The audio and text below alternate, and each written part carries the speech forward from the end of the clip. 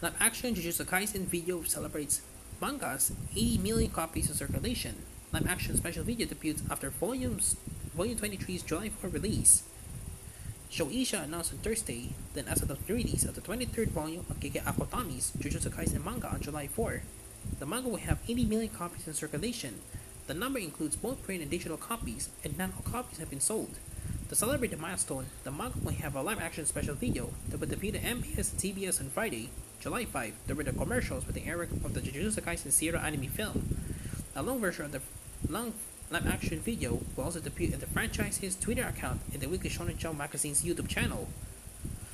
The manga had 8.5 million in October 2020, 10 million on October 29, 2020, 50 million on December 16, 2020, 20 million on January 30, 2021, 25 million on January 26, 2021, 30 million on February 9, 2021, 35 million on March 4, 2021, 40 million on March 31, 2021, 45 million on April 21, 2021, 50 million on January, June 4, 2021, 55 million on September 27, 2021, 60 million on December 25, 2021, 65 million on August, April 4, 2022, 70 million on August 4, 2022,